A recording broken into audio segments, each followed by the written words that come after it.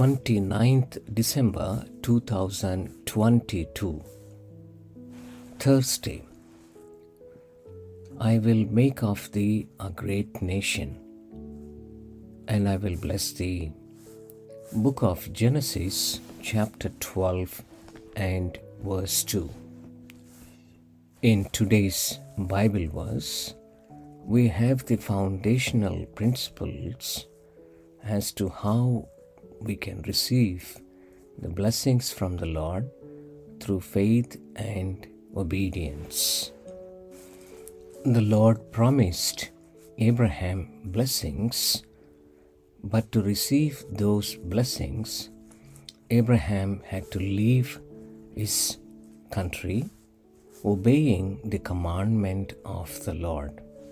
The Lord gave a promise of full blessing to Abraham, which includes five important aspects. The Lord said, I will make of thee a great nation. Secondly, the Lord said, I will bless thee and make thy name great. Thirdly, thou shalt be a blessing. Fourthly, I will bless them that bless thee, and curse him that curseth thee. Fifthly, and lastly, and in thee shall all the families of the earth be blessed. Abraham obeyed the Lord, believing the promises of God, and received all these blessings.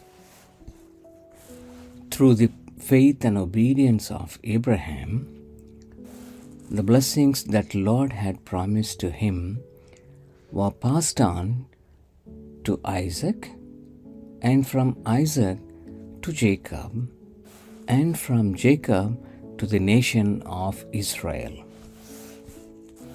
In this manner, Abraham became a channel of blessing to the nation of Israel. Through Lord Jesus Christ, we have received the blessings that God promised to Abraham.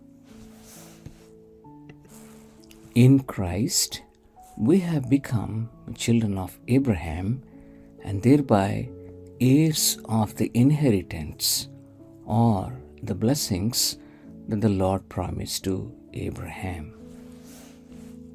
However, the blessings that we received are not exactly the same as the blessings Abraham received. Our children may not become great like the nation of Israel, but we can become the channels of eternal and true blessings to others. We can become channels of greater blessings, which are eternal and true blessings in Christ, which includes salvation, forgiveness of sins, sonship, and the hope of receiving the inheritance that is prepared by our Lord for the eternity to all of us. To become a channel of blessing to others, we should follow the example of Abraham. We should trust the Lord and obey Him not only to receive the blessings but also to become a channel of blessing to others. May our loving Lord not only bless us with His heavenly blessings, but also make us as channels of blessings like Abraham more in the year to come, that is 2023.